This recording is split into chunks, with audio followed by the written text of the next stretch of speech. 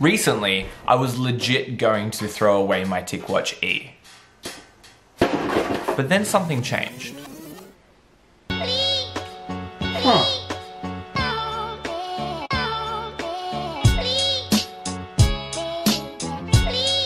It was a long time coming.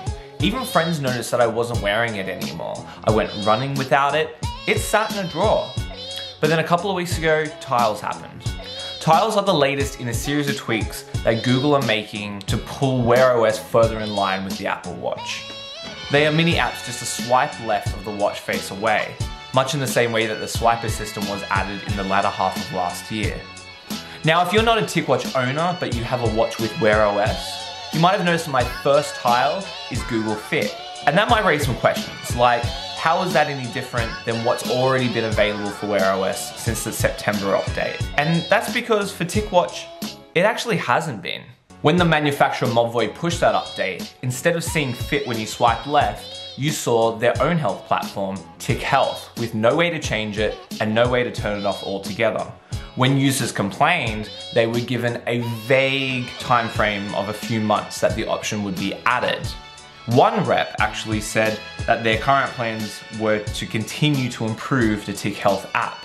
So for eight months when I swiped left, it was a constant reminder that while Wear OS were trying to make efforts to stay relevant and competitive, Mobvoi were there to stymie that.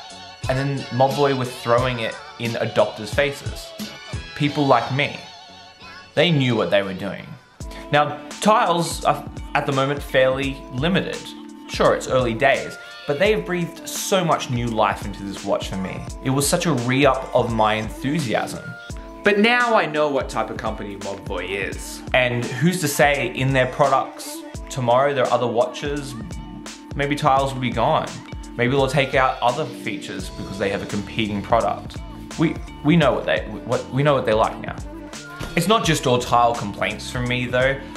Around the same time last year, the connectors, the metal connectors used for charging on the back of the watch started to show some wear and it started to become very difficult to charge the watch.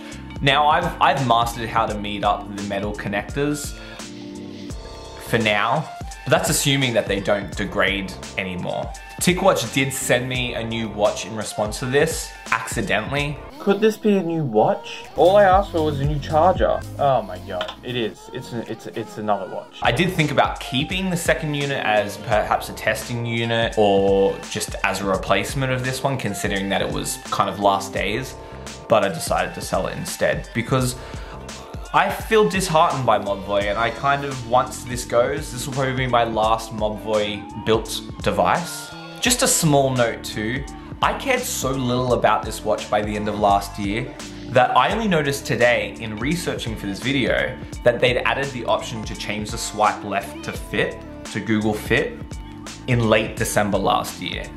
So, egg on my face. It was too late though. Mobvoi should have added that option in before they put the update out. It was a foreseeable issue. I mean, come on Mobvoi. But tiles are mad though. And if you are in the market for a smartwatch, Wear OS should definitely be on your radar. Just don't skimp on a TicWatch though. Hey over here in this box. Like and subscribe for more tech videos. I have so many more videos coming, a lot more to cover, a lot more to say, a lot more complaints. Come and hit subscribe and and and, and the like and comment, comment as well. Comment. Uh, enough rambling. Uh, I'm out of time. I'm out of time.